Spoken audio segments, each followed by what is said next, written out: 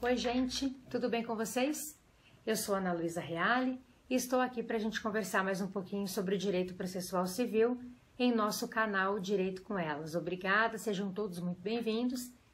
Então, a gente vai começar o estudo de hoje a partir desse momento.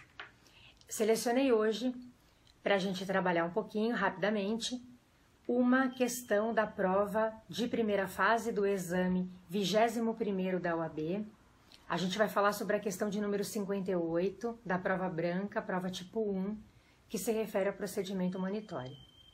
Então, a ação monitória, regulamentada já pelo Código de 73, ela continua regulamentada pelo nosso sistema e está inserida no novo CPC, em sua parte especial, livro 1 do novo código, portanto.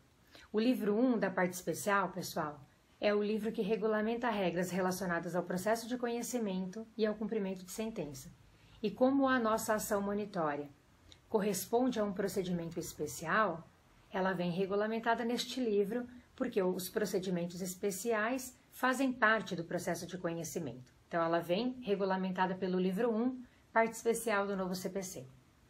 Gostaria de ressaltar também que, muito embora ela já é, é, corresponda a uma ação já regulamentada pelo sistema, porque ela já vinha regulamentada pelo Código de 73, ela não veio prevista no projeto originário do novo Código.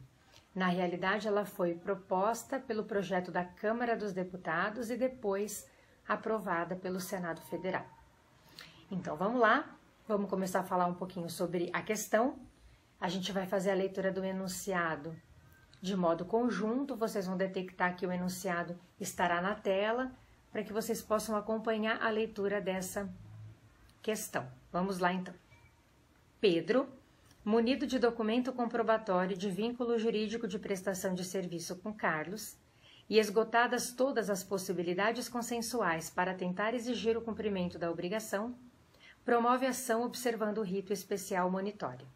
Citado, Carlos oferece embargos, apontando em preliminar que o rito da ação monitória não é adequado para pleitear cumprimento de obrigação de fazer e, no mérito, alega a exceção de contrato não cumprido. Oferta ainda a reconvenção, cobrando os valores supostamente devidos. Diante da situação hipotética, sobre os posicionamentos adotados por Carlos, assinale a afirmativa correta. Então, pessoal, vamos já analisar cada alternativa, porque elas vão desmembrar de fato esse enunciado e vai ficar mais fácil da gente compreender essa questão, tá?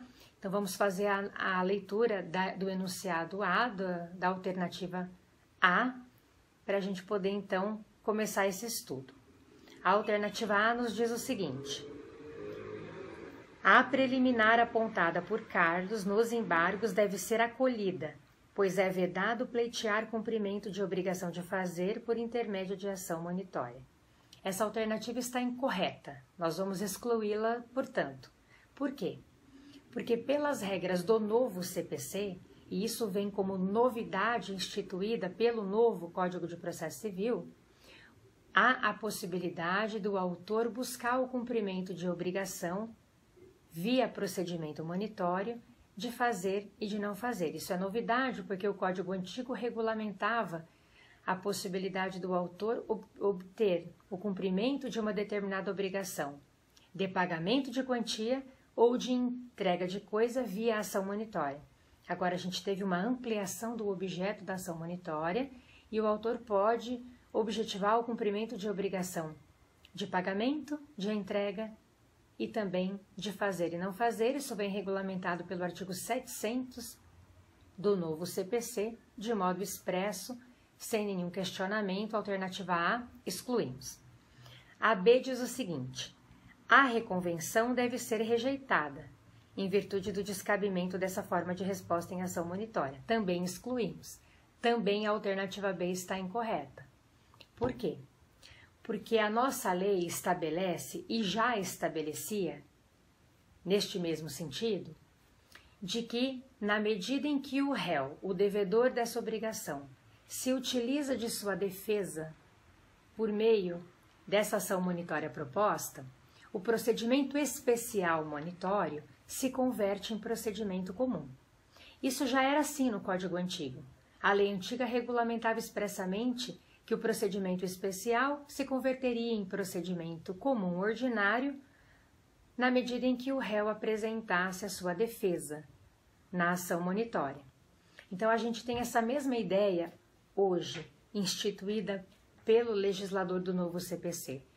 Na medida em que o réu apresenta sua defesa em juízo, via ação monitória, na ação monitória proposta, esta ação de rito especial se converte em procedimento comum. E como a reconvenção é uma manifestação do réu admitida pelo procedimento comum, não há nenhum problema que ela aqui seja apresentada.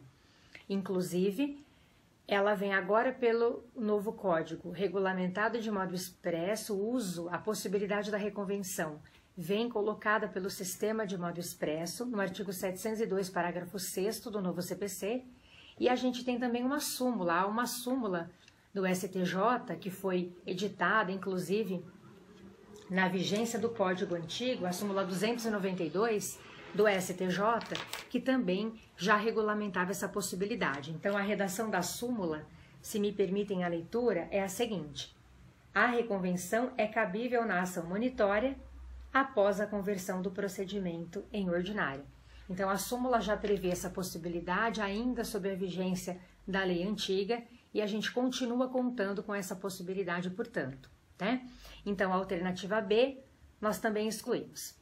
A C diz lá: a preliminar indicada por Carlos não deve prosperar, tendo em vista que é possível veicular em ação monitória o cumprimento de obrigação de fazer.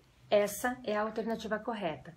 Na medida em que você identifica o objeto da ação monitória, quais as obrigações que podem ser exigidas né, via procedimento monitório, você já é, consegue detectar aqui que de fato essa é a alternativa correta. Na verdade, ela diz o oposto do que a alternativa A nos colocou, a gente já havia excluído a alternativa A e concomitantemente já daria para marcar como correta essa alternativa C, portanto.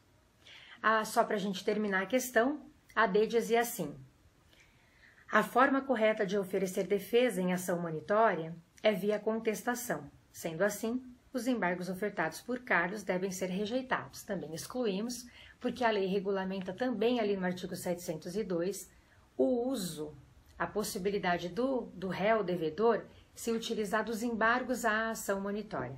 Então, independentemente da natureza jurídica desse instituto, nesse momento nós não vamos entrar nessa questão polêmica, mas a lei regulamenta de modo expresso que a defesa do devedor se fará por meio dos embargos à ação monitória, portanto, não é uma contestação. Então, a gente vai excluir dessa maneira a alternativa D. Era isso, pessoal. Espero que vocês tenham curtido a dica, aproveitado essa oportunidade. Muito obrigada. Se você curtiu, dê um like e vai lá se inscrever no nosso canal se você não fez isso ainda. Beijo e até na próxima quinta-feira.